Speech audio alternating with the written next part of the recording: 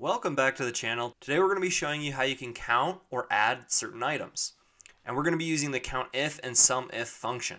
Alright, so these functions are particularly useful when you have a large sets of data, right? So for this example, we just have a small set of data right here where we might not necessarily need to use these functions, but if you have a long list of data, this is very helpful.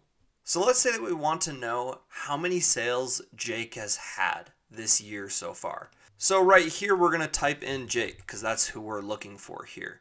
And then we'll do a simple COUNTIF function found here. And then it's going to ask us for the range. And that range is referring to the area where we can find Jake's name. So that would be this right here or all of column C, either way. And then we're going to want the criteria is going to be this cell, which is Jake. We'll go ahead and hit enter.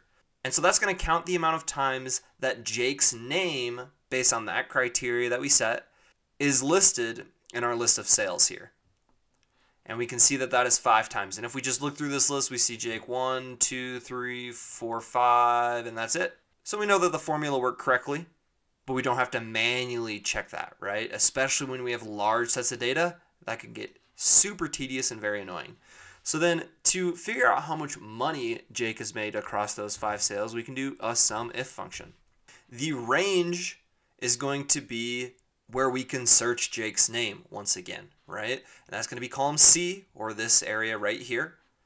We're going to do hit comma. And the criteria, once again, is going to be Jake. We're looking for Jake.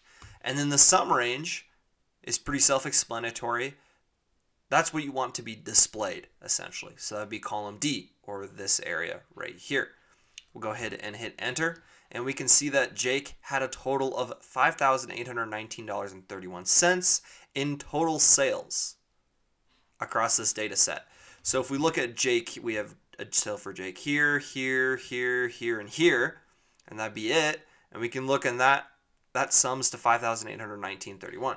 Since our criteria is set to this cell, if we wanted to change the name to Sarah, for example, that would automatically update.